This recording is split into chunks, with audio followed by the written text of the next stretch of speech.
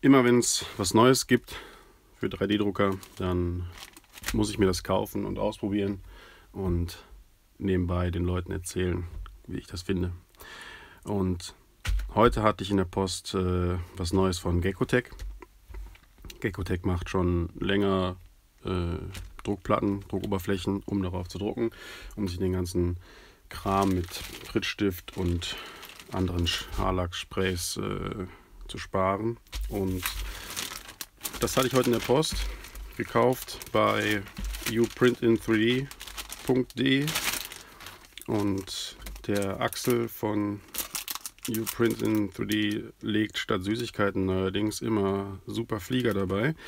Ähm, ich weiß, dass das der Beste ist, der am besten fliegt, hat er gesagt. Und äh, ja, muss öfter bestellen, glaube ich, damit ich zwölf zusammenkriege. Drei habe ich schon. Ja, jedenfalls habe ich mir Gekotech Hot gekauft. Druckplatte, zugeschnitten auf äh, 10x10 cm. Hat der Axel schon äh, fertig für den Dice zurechtgeschnitten. Was mir hier gerade auffällt, äh, er hat sogar richtig schön rechtwinklig zugeschnitten. Das bemängel ich zum Beispiel bei der Fila Farm oder bei der MT Plus. Die kommen alle echt ein bisschen windschief. Wenn man das gerne schön aussehen haben möchte, dann sollten die mal ein bisschen gerade schneiden. Das hier ist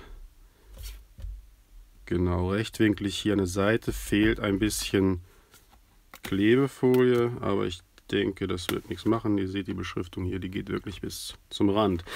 Ja, wie fühlt sich das an? Was ist das? Ich würde sagen, das ist keine Bildtag oder wie nennt sich das andere? Logbild. Logbild. Das ist eher sowas wie Prusas Pi-Folie oder also von dieser Oberfläche her oder wie von Prima 3D ähm, die diese ich sage jetzt mal Fake Pi ne, die quasi genauso funktioniert. Allerdings merke ich hier auf der Oberfläche ist so satiniert. Ähm, ich würde sagen, das ist das gleiche wie, die, wie diese Overhead-Projektefolien, die man mit einem Tintenstrahldrucker bedrucken kann. Die sind ja auch auf einer Seite so ein bisschen matt, als ob da was drauf, zusätzlich drauf laminiert ist. Ich weiß nicht, die Kamera wird das nicht aufnehmen. Es ist auf jeden Fall gesprenkelt. Ganz, es ist glatt, aber es ist, man hört es vielleicht, es hat so ein klebriges Gefühl. Ja, ähm, die sind für den Dice, die sind zum Aufkleben mit 3M-Folie. Ich werde die allerdings nicht direkt draufkleben. Ich bin ein Freund von Wechselplatten. Deswegen werden wir da was ein bisschen was anderes machen. Schauen wir uns mal eben an. Ähm, ja, wir sollen neu leveln, alles klar. Es gibt zwei Versionen von der Platte, von der, von der Druckplatte. Ich habe jetzt hier die Hot Hot ist für ABS, PLA, PTG, also alles, wo man das Heizbett benutzen soll. Und dann gibt es da noch eine Cold-Version für, für PLA, flexibles Holz, Filamente. Ich weiß jetzt nicht, ob Holz Probleme hat beim Hot. Ich gehe davon aus, dass Flexible bei Hot zu sehr kleben wird, wenn man es heiß benutzt. Muss ich mal ausprobieren, werde ich bei den Drucktests machen. Man kann es zuschneiden mit einer Schere ja, und der Rest ist Standard. Da, wo man klebt, soll es sauber sein und los geht's. Okay. Da ich, wie gesagt, das hier nicht direkt draufkleben werde, habe ich mir Federstahl besorgt. Das ist jetzt hier 0,6 mm Federstahl, auch 10 x 10 und äh, ich habe jetzt, merke jetzt schon, die Seiten müssen wir mal eben ein bisschen engraten. Keiner hat Lust, sich die Finger aufzuschneiden und ja, besser. Wie gesagt, 0,6 mm sind noch flexibel, flexibel, flexibel genug, um die zu biegen und den Druck zu lösen, aber hart genug, um wirklich, wenn der Druck warpen will oder was auch immer, sich nicht nachzugeben. Ich würde 0,5 vorziehen, habe ich jetzt gerade nicht hier. 0,5 ist noch ein Ticken weicher und immer noch stark genug. Ich habe jetzt nur noch 0,6, also 0,5, 0,6 mm ist wirklich auch für 20 x 20 cm da wirklich optimale Wahl.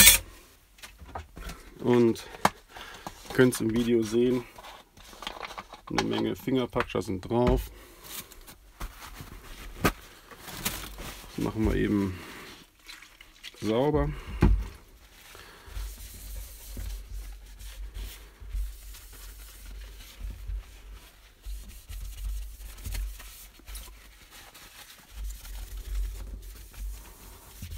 Und dann ist das, wie gesagt, staub- und fettfrei, so wie laut Anleitung gesagt wird.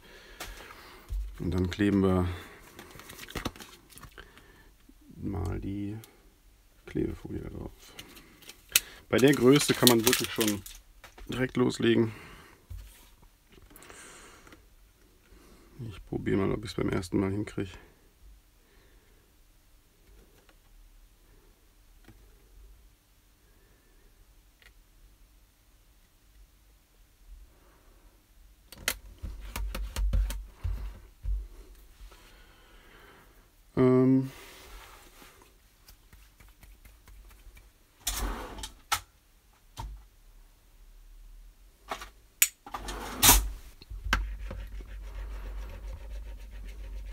Kann hier schön erkennen, wo es angedrückt ist und wo nicht.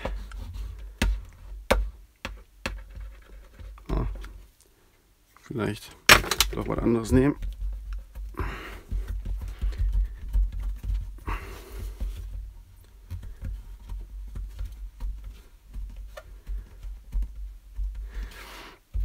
Ich kenne das jetzt von der Prima 3D. Da war das am Anfang auch so ein bisschen. Ich weiß nicht, ob man das auf der Kamera ansehen kann. Dass der Kleber halt zeigt, wo er nicht gerade klebt. Das geht aber weg, wenn das einmal erhitzt wurde. Zumindest bei der Prima 3D. Ich nehme an, das ist jetzt hier genauso. Und äh, mein Reiben und Kratzen mit der harten Oberfläche hat schon ein ganz leicht was. Ihr könnt es sehen. Was hinterlassen, Spuren hinterlassen. Ähm, ich gehe nicht davon aus, dass das ein Problem ist. Und äh, wie gesagt, Plan ist jetzt hier drauf zu drucken und anschließend zu flexen, um den Druck zu lösen. Schauen wir uns an, was die kann. Und wir vergleichen aber vorher noch mal kurz mit meinem Liebling, der MT Plus.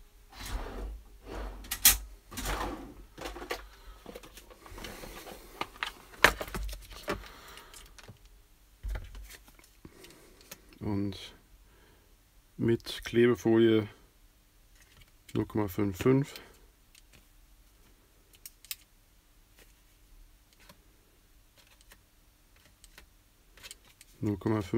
sechs und ohne die Klebefolie hier die reine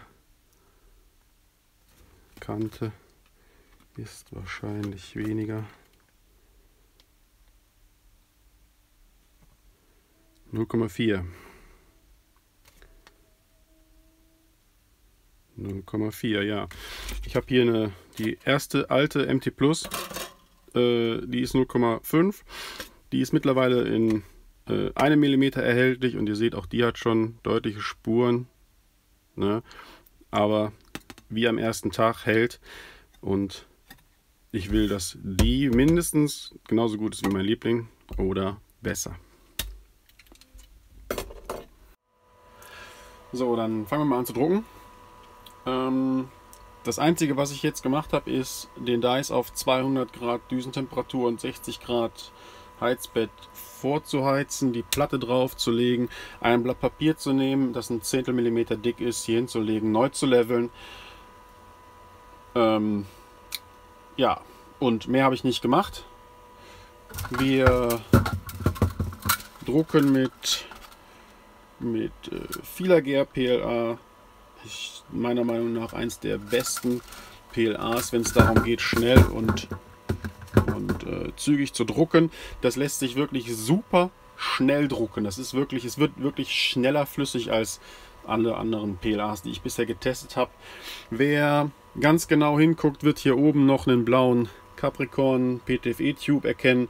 Ähm, ja, ich habe noch keinen Vorteil gefunden von dem Modell, was ich hier habe. Er ist drin, weil er blau ist und zu dem blauen Drucker passt. Dann nicht lang schnacken.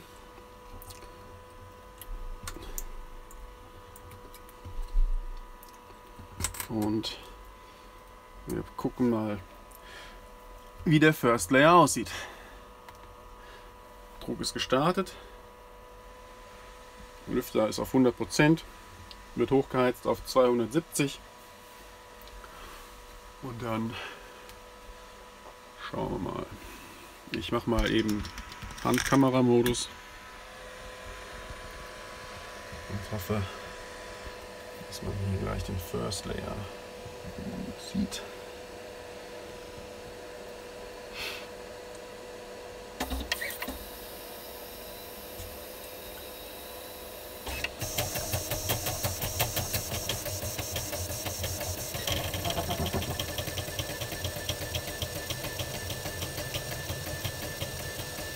Ja, es sieht sauber aus. Ich kann so keinen Fehler erkennen.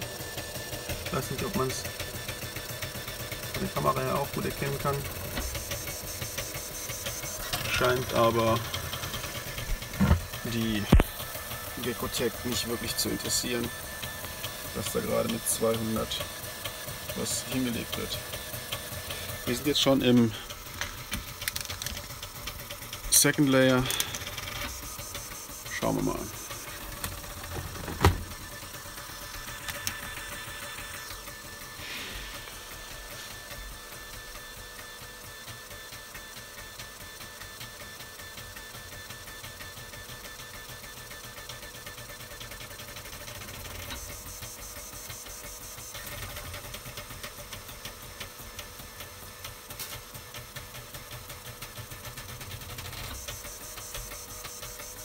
Und wie gesagt, hier keine geschönten Bedingungen, nur gelevelt. Die Rolle PLA steht hier stinknormal, ohne irgendwie Leichtlauf, irgendwas. Ähm, einfach nur hingestellt, angemacht und mit demselben Profil gedruckt wie die anderen 200 mm Drucke, wo ich den Druckplattenvergleich mache.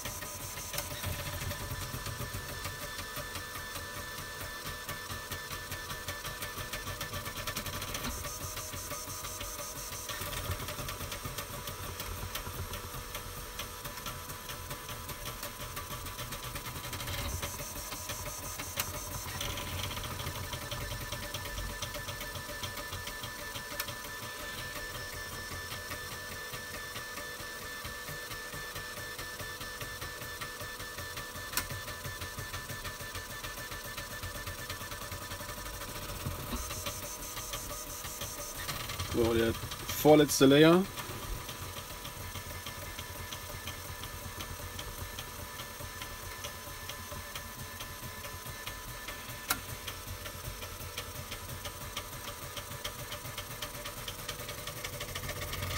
Und der letzte Layer.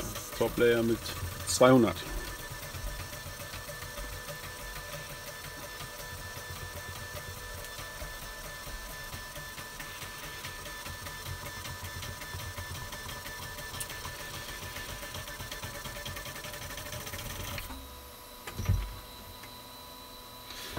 So, schauen wir uns das mal an.